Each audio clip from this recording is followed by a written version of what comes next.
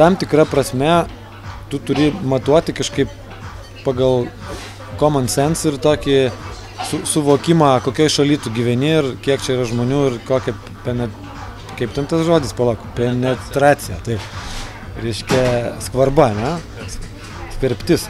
Tai žodžiu, tai e, kažkaip tai žinai, aš tai manau, kad šiuo metu mes pasiekę beveik lubas ir tiesiog vyksta lėtas, lėtas prisijungimas tų, kurie dar dėl kažkokių priežasčių nėra Facebook'e arba, arba nėra su mumis ten, arba apskritai yra, žinai, pakankamai abejingi, kam prie ko jungtis. Žinai. Tai mano manimu tiesiog tu, tu pradedi jaukti, matyti, kad eks, eks, toksai, žinai, e, geometrinė progresija baiginėjasi ir vyksta natūralus augimas į dieną po 30, žinai, 20-40 fanų, kas yra mano manimu labai toks natūralus reiškinys, žinai, vykstantis.